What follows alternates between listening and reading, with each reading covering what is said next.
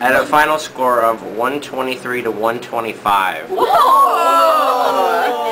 The winner is the extroverts. Yeah!